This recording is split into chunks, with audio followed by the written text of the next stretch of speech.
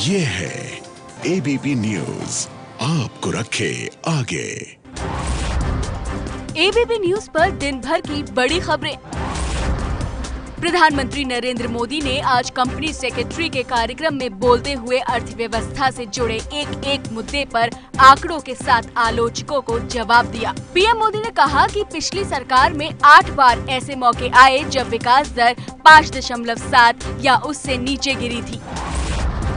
PM Modi ने PF के आंकड़ों का हवाला देकर इस आलोचना को भी खारिज किया कि देश में नौकरियों में कमी आई है। पीएम ने कहा कि अगर व्यापारियों को दिक्कत है तो जीएसटी काउंसिल इसकी समीक्षा करेगी।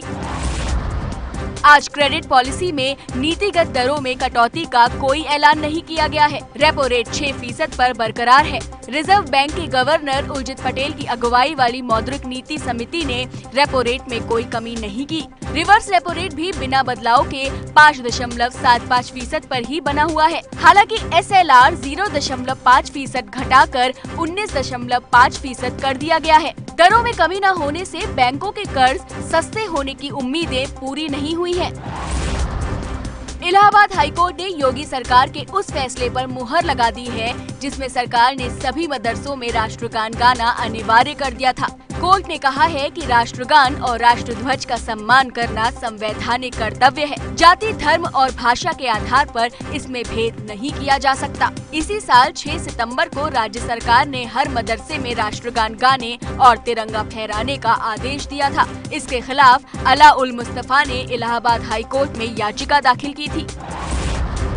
पंचकुला कोर्ट में राम रहीम की करीबी हनीप्रीत को छह दिन की पुलिस रिमांड में भेज दिया गया है। पंचकुला पुलिस ने कोर्ट से हनीप्रीत की चौदह दिन की रिमांड मांगी थी, लेकिन कोर्ट ने छह दिन के लिए हनीप्रीत को पुलिस रिमांड में भेजा है। राम रहीम की सजा से पहले पंचकुला में जो हिंसा भड़की थी, उसके पीछे हनीप्रीत का हाथ होने का आरोप है। महँगे पेट्रोल पर घिरी मोदी सरकार ने अब राज्यों से पाँच फ़ीसद वैट कम करने को कहा है। पेट्रोल और डीजल के बाद अब आम जनता के लिए एक और राहत की खबर है। मोदी सरकार ने त्योहारों के सीज़न में लोगों को सस्ती दाल देने का फैसला किया है।